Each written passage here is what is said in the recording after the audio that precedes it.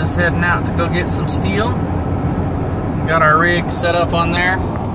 Gonna pick up um, some angle on some square tube and rod, a few little things for the next couple projects.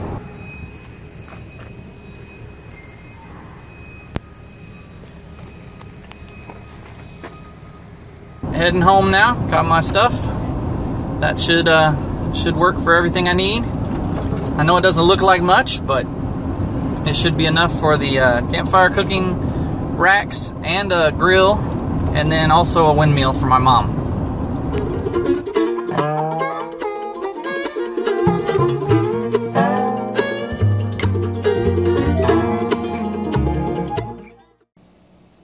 Welcome back to another episode of Big Redfish Dad YouTube. Um, what we got going on today is we just got back from the uh, steel yard, picked up a few pieces of uh, angle iron, some rod, and some square tube.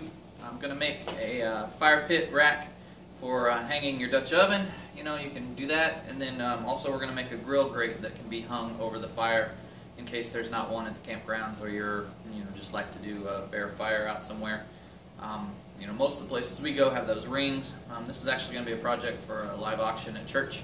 So um, we're going to just uh, put this together this weekend and hopefully it'll turn out nice. Uh, we're going to change a few little things on it from the one that we made for our camper. Um, hopefully this will be a little bit better design. I drew it up on SketchUp. Try to put some plans out there and I'll link that in the description to the website. Um, it's not really plans, it's more like a picture with some measurements. So, um, you know, you can figure it out on your own and just kind of play around with it. But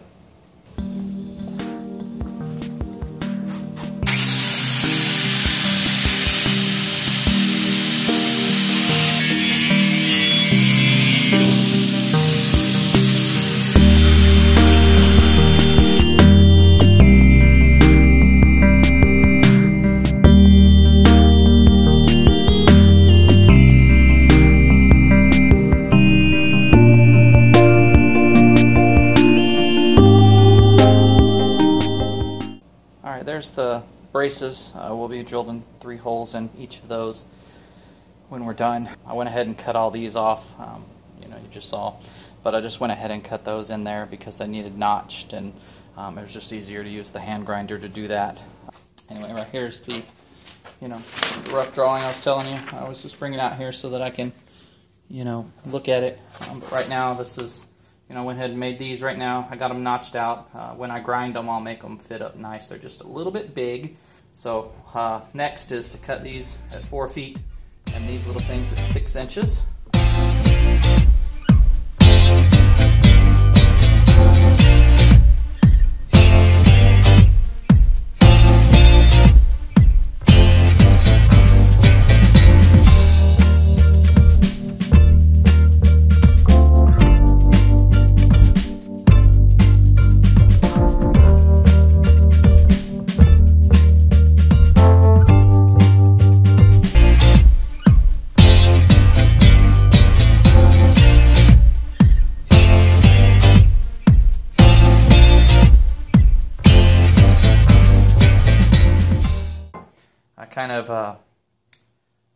Grounded that off. Not sure if you can see that uh, at an angle here, so it'll be able to slide up against that curved thing, um, the little curve, and they will go.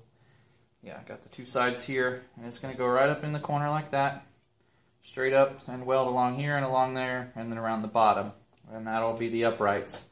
Then, of course, on the plan, drill a hole here, hole here, hole there, and just use those tent spikes that um, we make. Uh, you get them at Home Depot. They're the long 12 inch, big old huge nails is what they are. Um, and you just pound those in. Uh, may not even need it if you have the bar, once you get the bar across the top. And then, because that'll keep it pretty steady, especially if there's some weight on it. And then these will be welded on here, right here like this.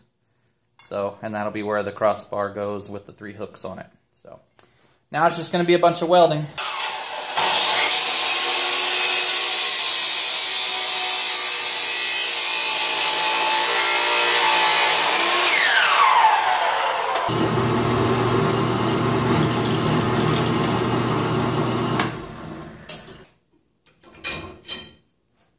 Okay, there's the three hooks.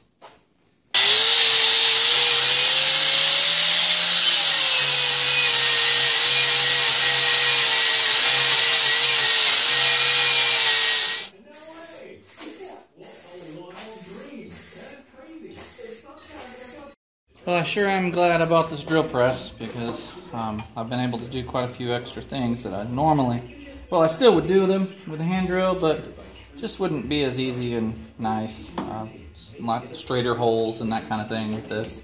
So, good purchase. And, uh, you know, we went with the big one here because, well, never know what we're going to do, and it wasn't that much more than a bench one, so, um, well, this is a bench one. So it wasn't much that much more than the Skil or the craftsman or the Ryobi. So I mean, uh, got a lot of good reviews on these Grizzlies. Pretty good stuff. Okay, so now I'm just going to drill the holes in the um, three stand legs, the stands parts.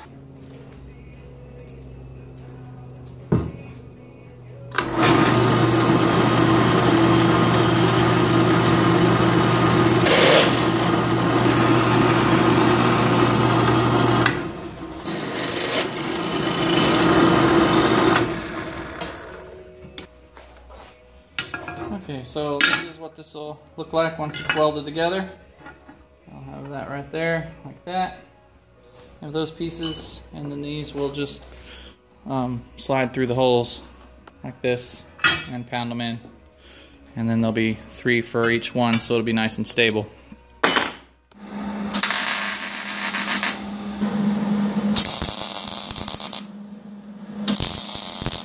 Jump. Okay, here's finished product. You know.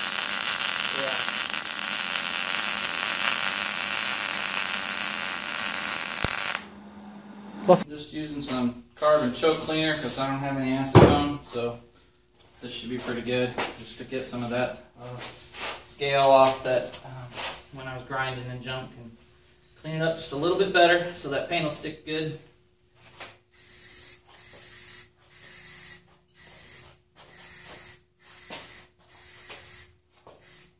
And so all I got left is to bend these two um, chains for their hangers and then we'll be done. So I'm just putting that in there and squeezing it shut. This one of course is for your Dutch oven and if you're not using him just hang him over here you know like that and then um, box or whatever. If you're going to use the grill you'll just hang the grill right here like this and then your it'll hang on to the two uh, hooks that we made. And then to adjust it, you just raise it up to ever what link you want and hang it on that link. And that'll make it raise higher.